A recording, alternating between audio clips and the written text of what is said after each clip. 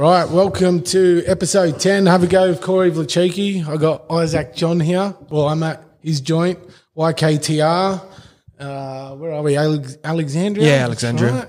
So, met Ice fuck, through footy or Justo, maybe? Oh, a little bit of both. I remember seeing you knock about with Penrith in a little bit, and then um, I think the first time I proper shook your hand and had a chat with you when we were over in America that time. Oh, yeah, that's yeah. right. So um, yeah, so predominantly through Justin. So yeah, yeah.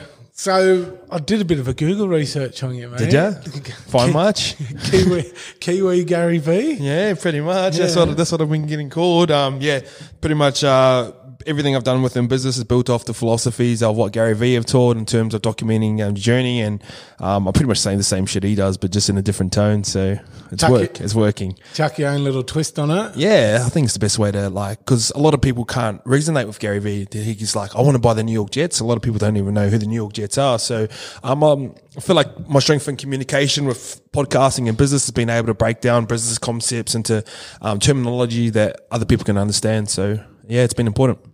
So, your CEO, YKTR? Yeah, CEO. Oh, very loose, like CEO, but um, co-founder, obviously with Chico and Corey. Um, our story's pretty much out there. A lot of people do know it, but we're kind of just three guys that kind of enjoyed footy and playing and partying and that sort of lifestyle and sort of due. Oh, let us swear on it. Yeah, Yeah. go for it. Uh, due, due to due to just having a few beers and fucking around with all the boys, we just go, "Fuck, let's just start a clothing brand." And um, obviously, I had a lot more interest in it than the boys, but then they're sort of, um, if you do know them personally, like they're just go getters. They're like, I could say something, or we could say something. They're just like, "Fuck it, let's go get it." So um, a lot of the work has been done on me, but I'd, I'd rather it that way. A lot of people ask like what do the boys do? But they own the business. They own the, bu- they don't, I don't need them to do anything. I just want them to be my friend and, and, um, supportive business partner. And it hasn't always been smooth sailing, but, um, they've been good. I feel like if you had three friends and you went and equally invested, I don't reckon we would have like one, the business would have worked or two, the business might have worked and we might not have been friends. So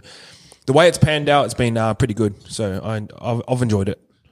How was that convo at the start? Was it like that from the start? Like, I'm going to be doing this, you take it backward seat? Or how'd um, that work out? Yeah, no, it's to be fair, like it's only in the past maybe six to six months where it's like very clear in the in the sand where we go.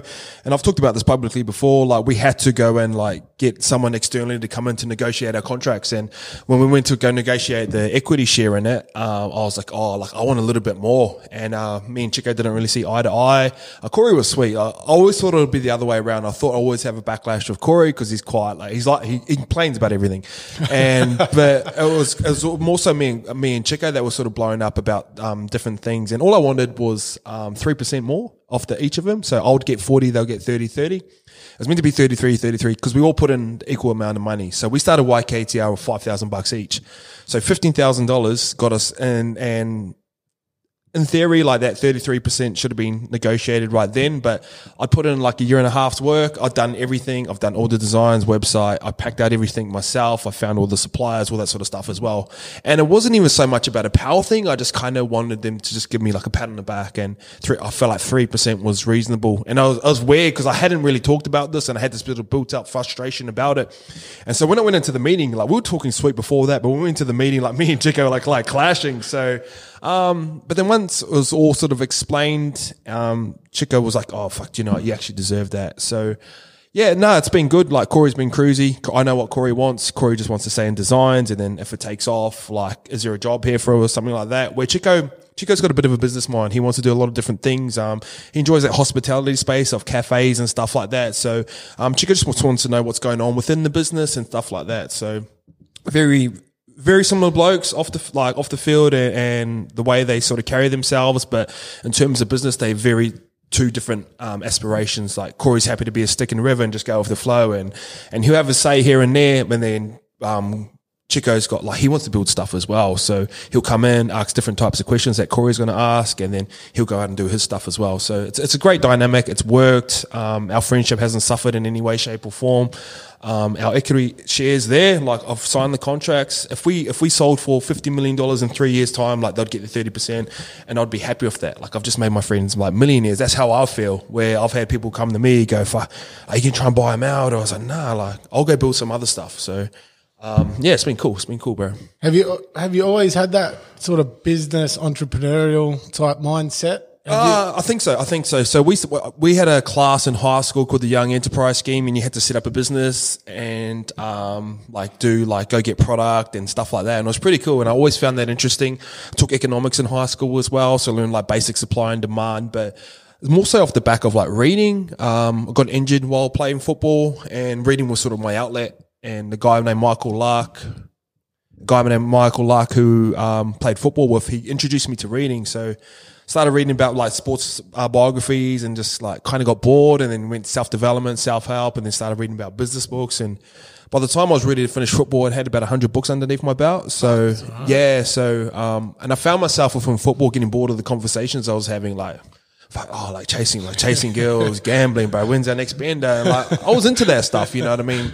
Like, I was a fan of that shit, but just like every week, like just like oh, and then I'll try and talk about something else, and it's just like nah, shut up, shut up, shut up. So um, yeah, I just I felt something pulling me towards uh, business, but the I was probably more so fair. Like I was fair of like working for someone else. Like that fucking like would keep me up at night. Like when I think about it now, still like it makes my stomach drop. Like the, rocking up to someone else's workplace and and especially off the back of COVID, like anyone could be fucked off if you're working for someone else. And even if you're building your own shit, like it could crumble. But I'd rather have that. Like I'd rather try and build something and die on my own sword, and then sort of walk up to a job and go, "Hey, bro, you're not you're not needed here anymore."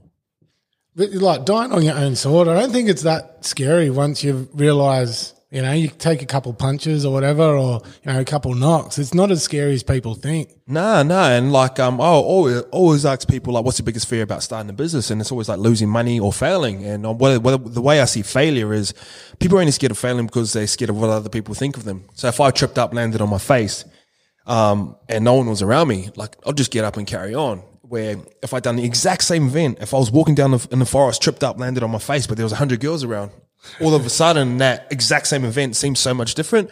And that's how people treat business. They're actually scared. But the strategy I've worked out and is very much Gary V is like document everything. So whenever I fuck up, like I'll put a video up straight away. Hey guys, like I fucked up. Like we done this mystery boxing a couple, uh, oh yeah, I remember that. I fucked it up big yeah. time, bro. Like cost us like 20,000 bucks. Like it was $20,000 fuck up. And, um, I was just going like, hey guys, I just and like I was panicking, not not not because of the money. Like, I didn't care about the money, but I was more so panicking because like I let I let my customer base down, and um, they were very understanding and like. I, said apology from me. I had apology from Natasha go from as well. I put out a video one as well. So I tried to cover all my bases off straight away. And I knew fucked up. Like someone got an order and I seen it. I was like, oh, that's way off. So what we'd promised and what we delivered was nowhere near. It was about $150 off. So I just went through that process, but it was good. Like like you know, you, you learn from that shit, bro. Yeah. Do you th- do you think you get that from playing footy, like that accountability and ownership? Like, uh, yeah, but uh, like a was that just something that you've had before that? I remember Shaun Berrigan once told me like the best thing to have in football is a short term memory. So like if you if you're moping you moping about and you're dragging your lip around on Wednesday, it sort of fucks up your game the next day yeah. or next weekend as well. So I think that helps. I think being in the football environment helps like getting your piss taken out of you like every single day. Like, do you know what I mean? Like, I seen you, I heard you about to put up a sausage dog. um, so like, I, I, got a bit of a long torso. So every day I was like sausage dog, sausage dog. Like, and, and then you've got your coaches that'll critique you in front of a lot of people in, in a video session. And then you've got fans that'll critique you as well. Then you've got the media and then fucking last thing you have to go home and look yourself in the mirror and you're like, did I do like everything I could have today or from Monday to Friday, did I prepare the best I could to perform? And there's a lot of correlations that trans over from sports to business. And, um, yeah, I'm glad, I'm glad I had that football background, um, getting over stuff pretty quickly, short wins, not, not dwelling on your losses and not getting too carried away with your wins as well. So I feel like I'm, I'm that right little balance at the moment. Content king, you are? Get, get enough of it out there. You're a gun at it. So, yeah. well, with that, well, I run what people that are listening already know. I run a uh, a gym, and I think we sort of started when you were starting out of your home office or yeah, bedroom. yeah. I remember that. We had and a you, meeting at Henry Mark. Yeah, eh? yeah, yeah that's yeah. right. And you were doing vlogs, and that gave us the idea to like, because every gym has got the same video. Oh, look how mad our workout is in mm. our facility. So we approached it a bit differently because you were like the little light bulb for us. Like, fuck, they're just documenting. It's like reality TV's like number one shows all the time. People want to watch that shit like behind the scenes. And that's what you do really well. Mm. Is that again another Gary V strategy that yeah. you. Yeah, very similar to you guys. So you guys are in a saturated industry with the gym. We're like we're clothing. Like we've had well over hundred people start clothing brands off the back of like our vlogs and inspired by us, and plenty of that copied us and would never say it as well. So um, when you're in a saturated industry, you're not really going to change the product. Like you might think your workouts are a lot better than everyone else's, but essentially they're the same. Like three times like bench press, like it's not revolutionary, do you know what I mean? But the way you can actually change your business is how you make people feel about your business, and you do that through your marketing, and you do that through your storytelling. And um, like you, you've caught on to it now. Like, what's your point of difference? Your point of difference is your personality at the top. Like, like people were like, "You're in the fashion game." I was like, "I don't like fashion. I didn't really like clothes, but th- th- I use these as a vehicle to do a lot of things that I actually wanted to do."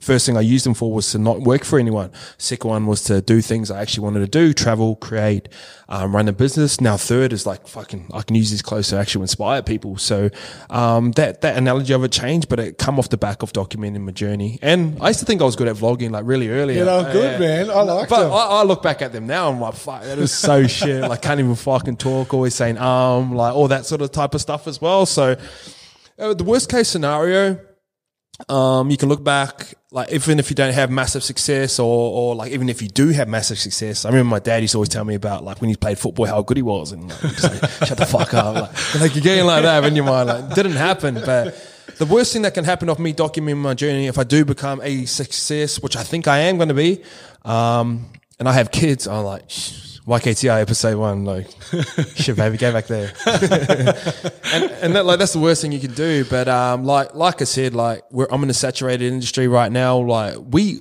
I talk to people, um, like successful people within this industry, and I'm like, how much did you have to start this business off? And a lot of them get um, private equity firms to invest, like some of the bigger dogs, and they all say about 500k. So we've been able to build a business, uh, pretty successful business. It's a seven figure business pretty quickly, pretty early, off the back of 15,000 bucks. And a lot of it's just been grinding and all that sort of stuff as well. So, um, yeah, it's something I'm really, really proud of. Do you think no matter what business you would have went into, like fashion or, you know, say you went into some other type of business, do you still think you would have been successful? No, oh, I don't know. I don't know. Um, like I tried a few different things. I tried drop shipping. I was very like, um, what's the quickest way I can get money so I Yeah. can travel? I, I went down that avenue. So I used to drop ship. If You get a giggle out of this, like um, like dog t-shirts. Yeah, For actual dogs or with dogs Nah, nah, for like their owners and shit. Oh, yeah. So I, I was on Instagram. I was on Instagram, and all I used to see was like eastern suburbs chicks walking around with their dogs and stuff. And I was like, fuck, why don't I just make start making like dog t-shirts, like just random shit, bro. So went on um, like Fiverr, which is like a freelance, um, and just got random designs and started putting them on t-shirts. So what print on demand means, like it's not like YKTR where we have a bunch of inventory, and if you buy it.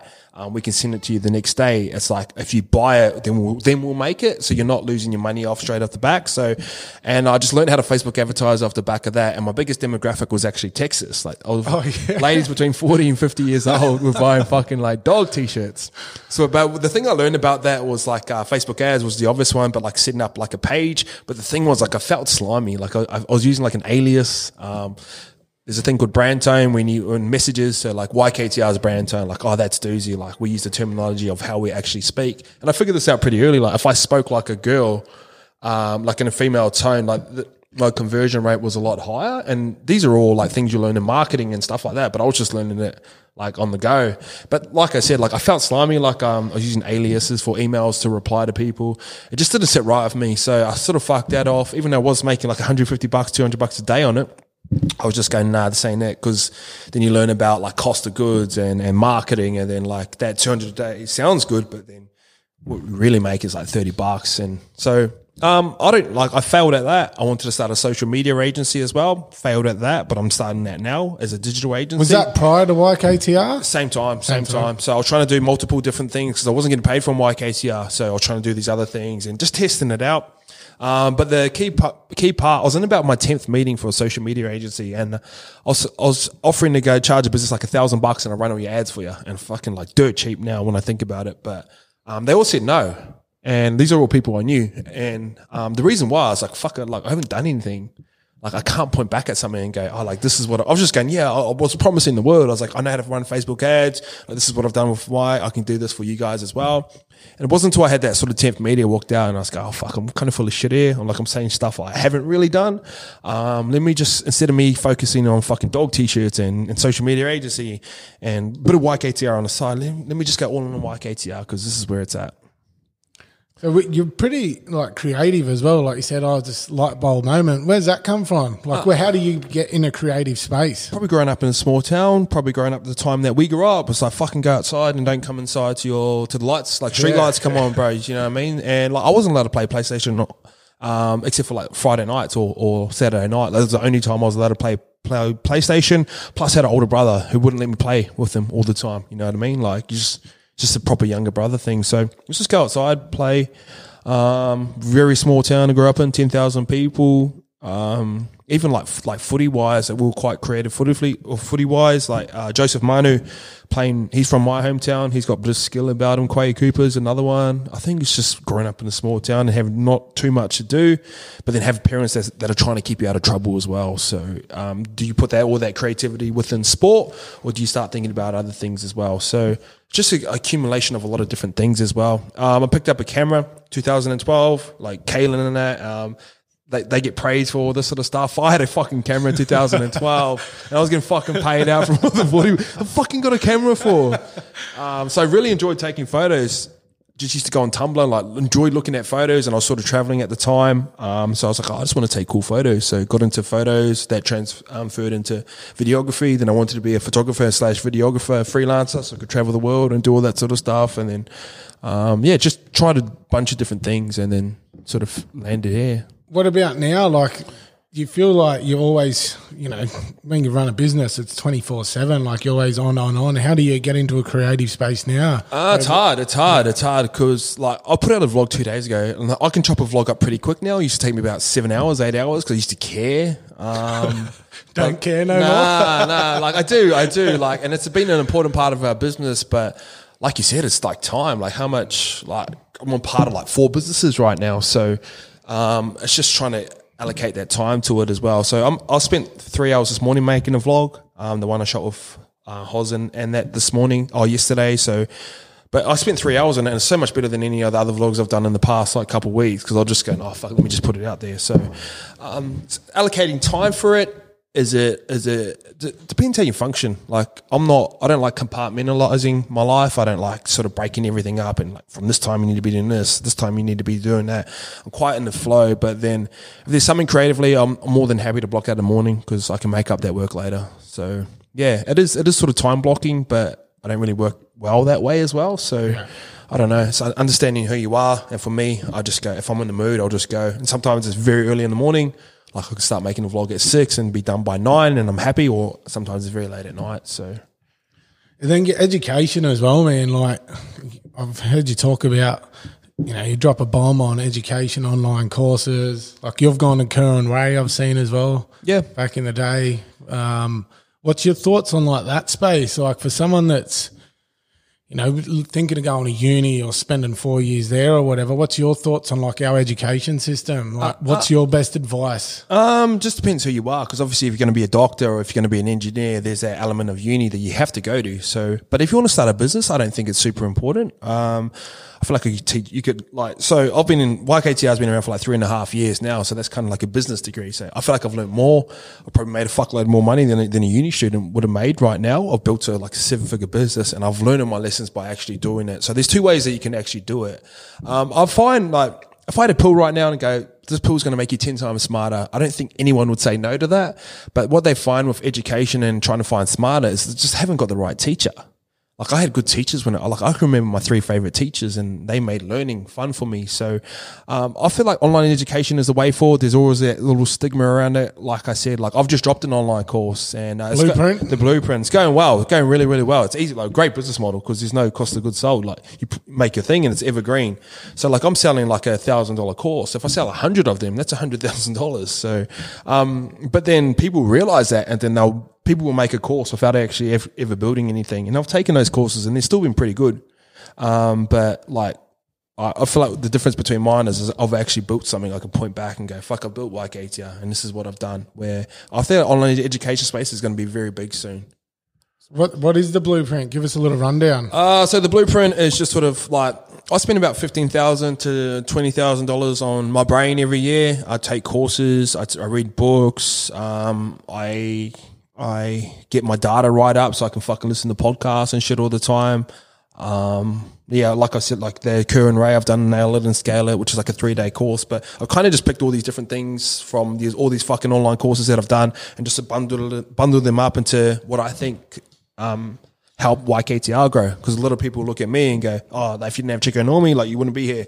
and I'm like, "Yeah, like take this course." How many I'll you." times have you heard that? Uh, it's coming less and less, and like and like people go, you can't deny that. But I was like, yeah, but these are just my these are just my friends. Like they're gonna be my friends after like they've finished football. Like who cares about their?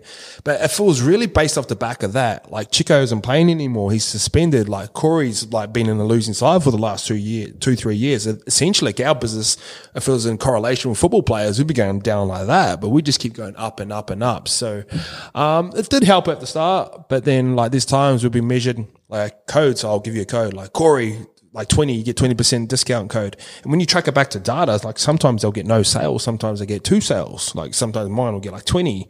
So, um, but like I said, the blueprint sort of covers a bunch of different things. Branding's big important one. People forget about branding, social media. I don't think people do social media right. They treat it as a catalog. They're always trying to get the sale. Um, they're not trying to build brand experience. They're not trying to um, humanize their brand in any way, shape, or form.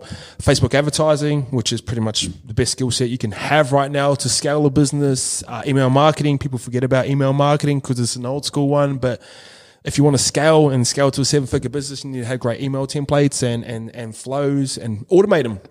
So when someone buys something off us, a flow goes on. Like, hey, thanks for purchasing off YKTR. If they buy it a second time, another one goes on. Like, I can't sit there and type that email out every single time.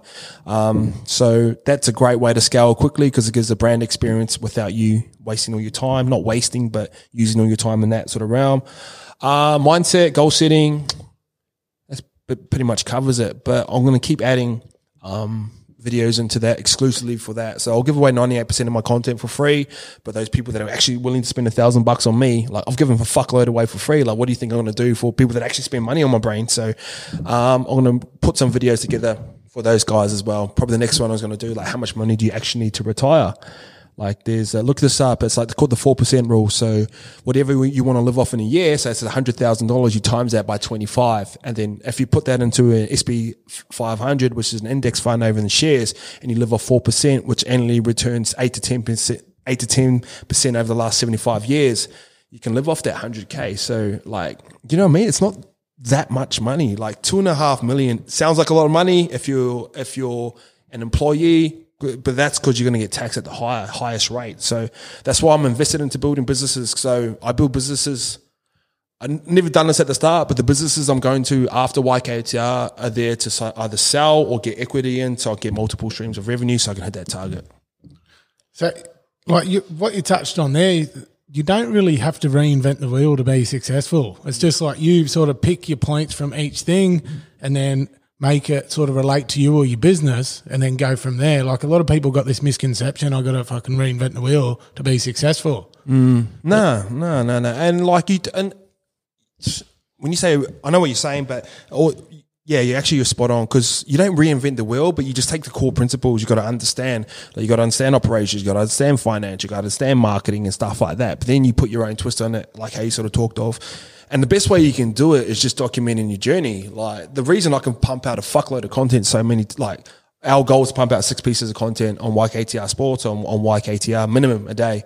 So the way we can do that is purely just by documenting, and people get caught up on trying to put out like the perfect photo and make sure the lighting's right and make sure this caption's right. Like I spell shit wrong all the time, but like, save here, bro. Save here. and it's not because I can't spell; it's just because I'm fucking moving so quick. No, I can't spell. That Westie coming out in you, bro. hey, you live there, bro, for a little bit, eh? Not by choice. Shout out the West. Um, but yeah, so like it's just too the way m- people move is just too slow, and like one of the things I talk about in this online course is you need 20 touch points before someone would consider buying off you. Back in 2011, it was like eight. Yeah. So like people have to see it like 20 times before they go, oh shit, what is YKTR? Which will become like a warm audience or warm customer. So they consider buying off you. So um, if I'm putting out six to 12 pieces of content a day, I'm probably going to probably got a better chance of winning than you are because you're putting out one a week. And that's just as simple as that. It's just It's numbers. the numbers game, hey. Yeah. Got YKTR Sports now. What's the go with that? Like, why? I to be, I love that man. What yous are doing in that space. cool. I reckon yous will take over media. Like the next generation coming through. Like you bloke in the bar is really cool as well. Um, just come off the back of a pain point. Like we've been around in Australia and we're just so consumed by just normal media. It's not a great, but like it's been around for almost a year now, hasn't made a single dollar, and it's not even about that. Scope, bro. Scope too much. Are we paying him too much or what? uh, scopes, all right. But yeah, no, it's like it's it's just built off the back of a pain point. Like I love American sports, and like basketball's like my, probably my favorite sport right now. Like I love it more than league, but like I'll never sit there and watch a full game of basketball because I like everything around it. Like what Lebr- what's LeBron wearing to the game? Like what's what like what's his kid up to? Like his young fella Bronny, like is he going to be a gun? Like what is what does LeBron eat before like a big game or final series? And that was the type of things I was interested in. See, like media right now, and like Bloke in the Bar's done a great job of breaking down, but they're essentially still reporting on what's happening. They'll report on scorelines, they'll report on stats. Like Tom Malone ran for 300. Like that's cool. Like, but I want to build content around Monday to Friday. Like, the same way we built YKTR, like Corey had this negative perception about him, Chico had this negative perception about of who they actually were, like spoiled, entitled, like party boys, and there was an element of truth to some of those things. But like once we started vlogging, it sort of broke down that wall, and Normie almost got like um the community service award last year, got pipped by CS Oliola, but he had the highest he had the, had the highest um votes community like from from the Oh, public. yeah? And essentially, I just wanted to do that. And I was sitting on the plane one time. Um, I was sitting on a bunch of podcasts, bagging media, like, oh, Paul Kent, blah, blah, blah, Buzz Rothfield, blah, blah, blah. But I sort of listened to myself back one time and I don't listen, normally listen to my content back. And I was going, fuck, like, shut the fuck up. Like, bro, if you're not going to do anything, like, what the fuck's the point of talking about it on the podcast? Like, why don't you actually try to build something? So uh, hired a guy named Lukey straight away. Um, he's great at graphic design and all that sort of stuff as well. And then we just started nutting out all these ideas. And our main source of inspiration is like Complex over in America. Um, Barstool Sports. I think I think we They're pretty funny. There's heaps of them too, eh? They got like one. But they got a great story. Like they sold for like 500 million, like 30 percent. That that Dave Portnoy, um, still Presidente. Fuck, they're very smart. So they started like 17 years ago, very like Batuta Advocate style, like just write like sort of fuck around stories. And it sort of just grew from there. So um, that's what I want to build with YKTR Sports. Um, I just didn't want to be like I don't think you're going to ever replace media because it's too it's funded too like, heavily, and um, there's a place for it. Like people want to know the news, people want to know what's going on, but the the I think you can change the perception though. Like guys like It's you, an option. We'll give them an yeah, option. Yeah, give them an option. Yeah. So, like, one of our things is player to fan, fan to player. So, we, we won't report on gossip. So, if something happens and, and someone's going to change clubs, we like we won't talk about that. But if that player wants to come on and have a chat and feel like he's been um, misrepresented in a, in a different way through the media, come and have a chat with us, and like we'll get your story out there. Um, we're not we're not trying to like skip bad news or anything like that. We're just trying to. Um, let the players tell it on their own terms, but then also create a fuckload of media around it that you can't get at Fox Sports, that you can't get at Channel 9 because they have to answer to a board of directors. Like Scope has the answer to me and I'll just go, yeah, fucking go, go. So, so the strategy is to build YKTR Sports as your sports umbrella and essentially have personalities that come underneath it. So Scope's probably our like most recognizable one right now first. Um, and then try and get a bunch of different funny people that are just fucking knockabouts. It's just type of content that I want to watch. Like I want to see someone outside the front of a stadium talking shit to random people that doesn't have to worry about swearing. Like, cause I fucking swear all the time and people pull me up on it, but there's still a fuckload of people that want to watch my content. So it's not about trying to change the narrative fully, but it's just trying to give people an option through different types of content, through um, written, through through podcasts, voice, and then through video. So we planned on making a lot more videos before, um, but we just can't get access to football players at the moment because all the rules and shit. So it's gonna be cool. It's gonna be cool. Yeah, I, I I love what you're doing. Like, especially, I know you said like there you're gonna have videos like watching someone on their game day. What that I used to love watching that as a kid. Like I remember they followed Freddie Fittler around once, Mm. training and then game day.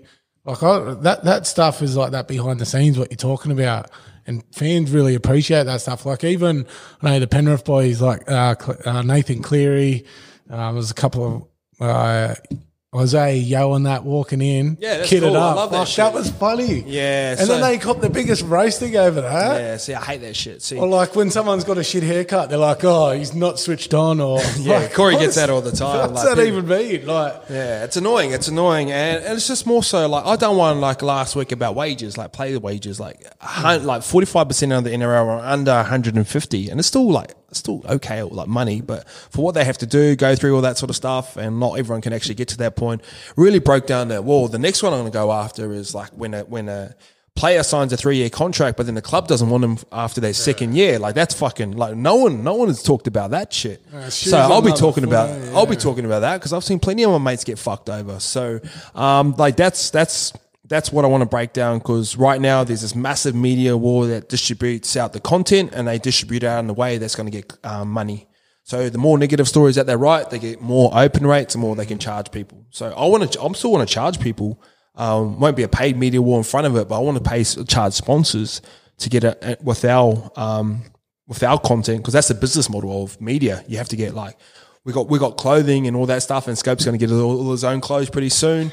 Um, but essentially, it's sponsorship that comes off the back of it. But then we just want to tell our story in the right way. So when we put our head down on the pillow at night time, like we're not feeling shit, you know, I mean? we're not feeling guilty. Like we're like, fuck, we're, making a difference in a positive way. We're never going to be Channel Nine, never going to be Fox Sports. We'll never make that type of money, but um, we we can make we can build a decent business model off the back of doing the right thing, and I feel like that's important to me.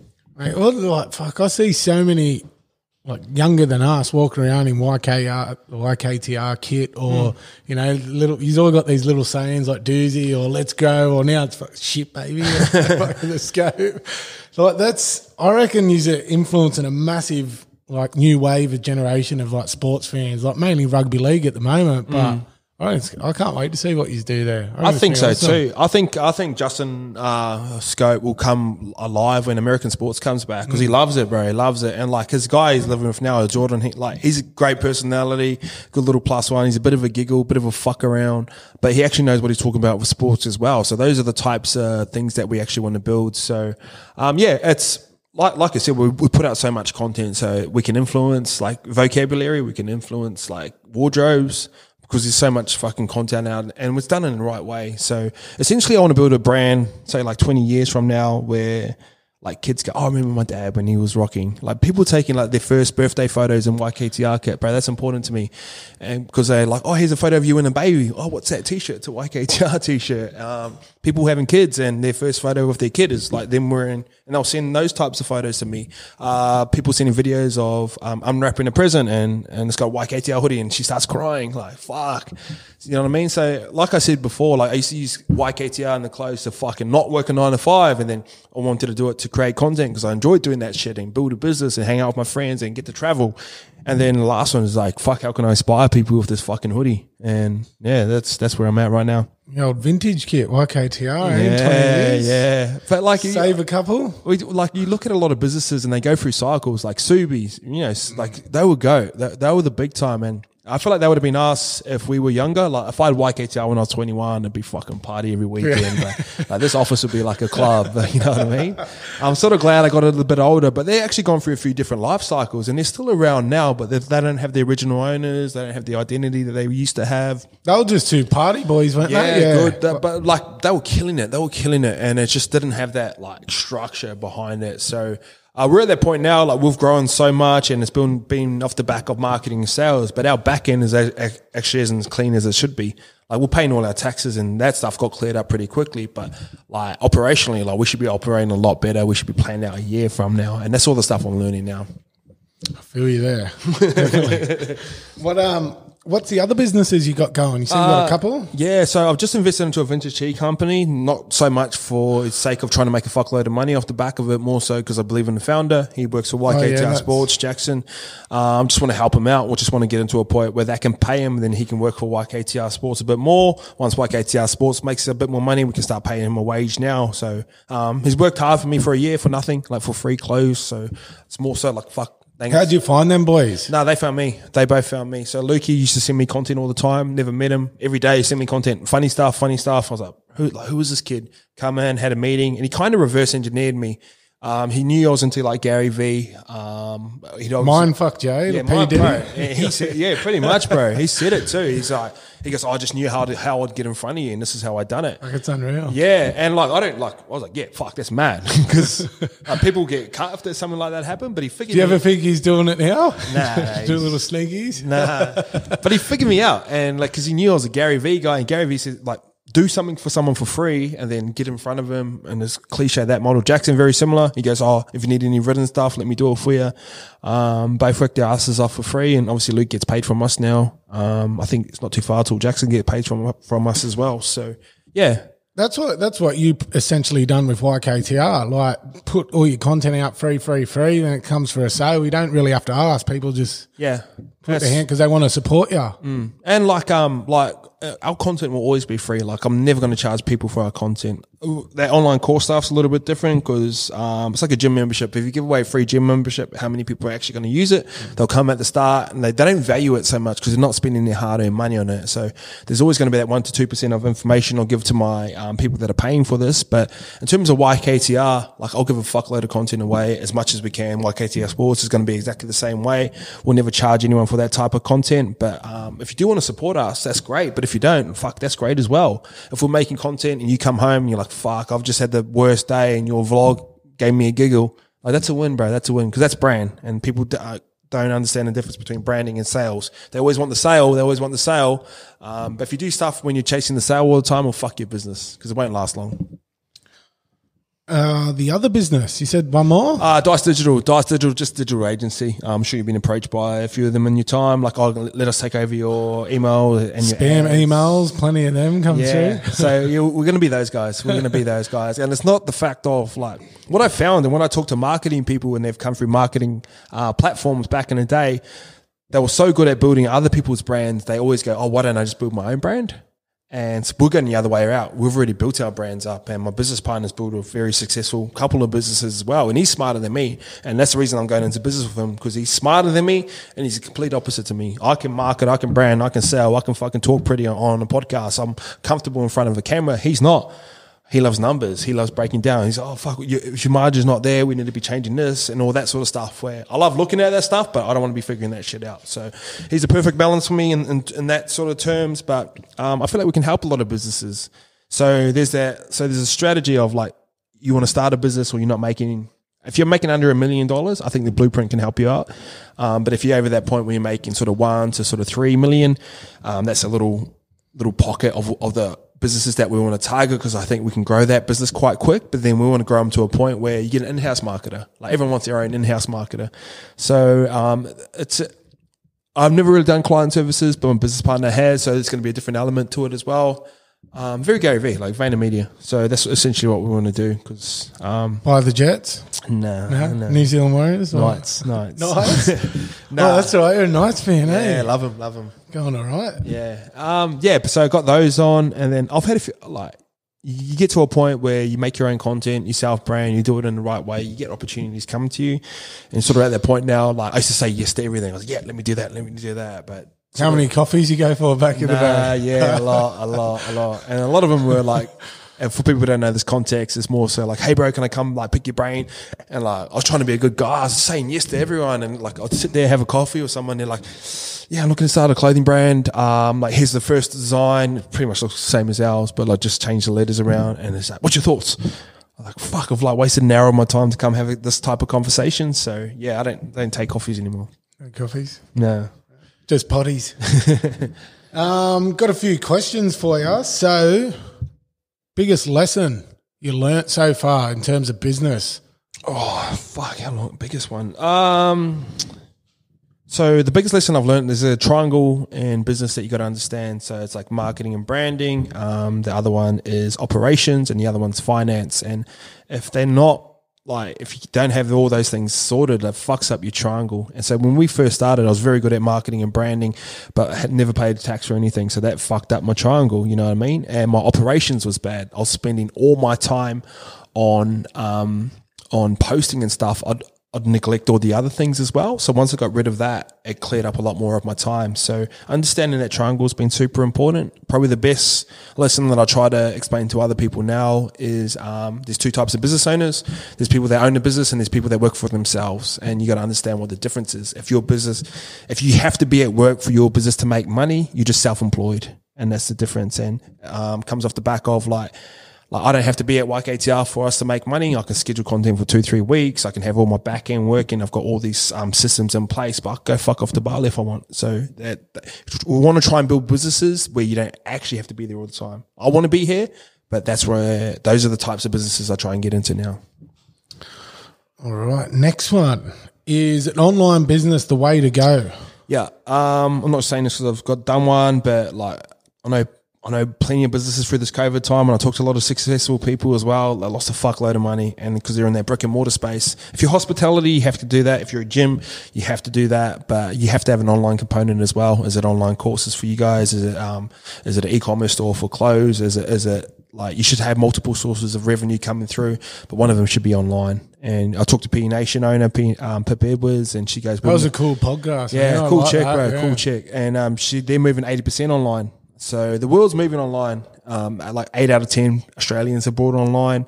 Um, I think it's like a thirty-five billion dollar industry within Australia. So and it's just going up and up, and people are more comfortable buying online. Well, you, how'd you go through COVID? We are talking just before. Yeah, we went good. Yeah. Um, scary rolling into it. I was kind of excited. It's the first time I've been tested. Like my journey in business kind of just been like that. Like fuck, That's good how you look at it like that, like excited for a bit of a challenge. like, let's go. Yeah. And like, cause I always hear Gary Vee because he's always go, "Oh, wait, wait till like the something hap- something's happening soon. It's been ten years mm-hmm. since the market crash. Something's going to happen. This will weed out all the entrepreneurs." And because because he's been in my ear for the last two three years, I've just been waiting for it, and I didn't know it was going to be COVID, but it was. And we felt COVID on a different level as well because it fucked up our supply chain in China. So we went Chinese New Year. They don't work for a whole month. They take the whole month off. And like, so like, oh shit. And then that COVID happened 28th of January. So they were, they were gone for like six weeks. So there was like an eight week, no, uh, two to three month period where we were getting nothing made over in China. So we had to sort of like think on our feet, do a little local production and we actually grew. So it, it was good. And we were trying to, um, when we went into COVID, I was like, fuck, I want to double down on our content. I want our content to be more valuable. I want it to be more entertaining. And that, that was, that's what we focused on. We focused on content and then like sales come off the back of that. Uh, next one. This is a good one. Can't remember who sent this in, but bench cut, start, Chico, Normie, or scope. Scope's cut. Scope. fuck the scope. Uh, I'm gonna go. I'm gonna go loyal here. Um, It's a tough one here. I just like love it. Like this is such a broad question, eh? Oh, sorry, it was on a on a Larry. On a- Larry. oh. No, I'll, I'll go with my boys. I'll start. I'll start Corey, bench, Chico, and then later Scobie. Be chasing Charlotte around somewhere. Oh, you'd be spilled about that. um, next one, another little question about dead or alive, three people at your table.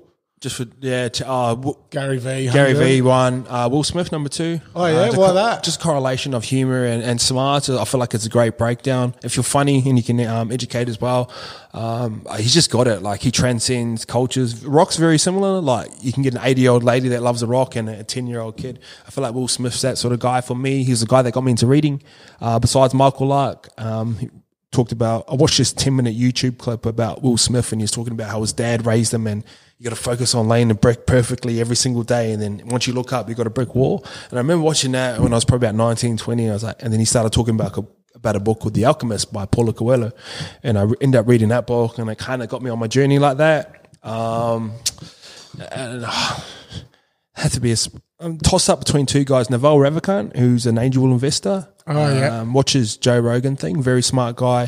Breaks things down very sim- like complex ideas. Sounds very simple through his mouth. Um, he's a billionaire. Pretty interesting guy. Um, or I'd go MJ or Kobe, like someone along those sort of level. Probably Kobe because he he's my guy. Kobe, Kobe shot. I ask everyone this too. So, like, the best advice you could give someone to get up and just have a crack, have a go at something. Like, if they're sitting there contemplating, oh, you know, this person's going to point the finger, or I don't know, I'll start next week. Like, your Um, best advice. Yeah, I think your biggest fear should be re- regret. And like your biggest fear should be not trying at all. And like it's fuck like money, you can make more money. You know what I mean? You can you can like who cares if you fail? Because I failed a couple small businesses early, but then like YKTR's become a success, and then but this isn't always going to be a success as well. This might fail in two three years from now. And my my attention, all these lessons I've learned from this is just going to go into another avenue. So uh, don't be scared of failing. Don't be scared of wasting money. But be scared of not trying at all. That that'll be my biggest piece of advice.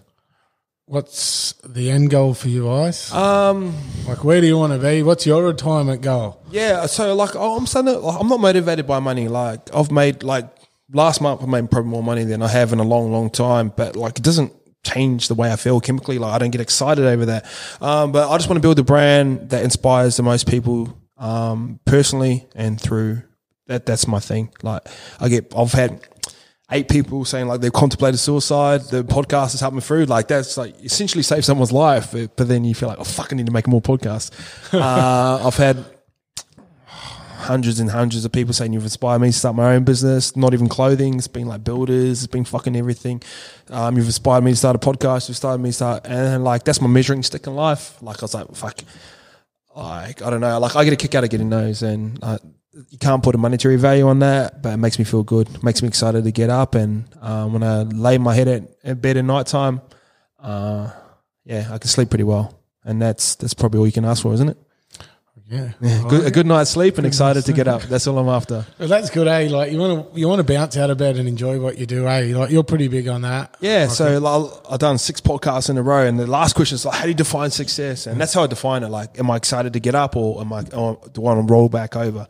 People and people like know the difference between a Monday and a Saturday. They're excited to get up on a Saturday because they've got things to look forward to. So once you get to a point where you're doing exactly what you want to do in life, and um, and you're excited to get up. I don't know, like it's like when you're on holiday where you don't like it doesn't feel like a Wednesday. You're like, oh fuck, I got here like two days ago, so that means I've got like five more days left. Like that's what you're like on holiday, eh? and, that's what my life feels like now. Like it's I know it's Thursday because I've got footy companion tonight, but besides that, I'd wake up and go, fuck, what day is it?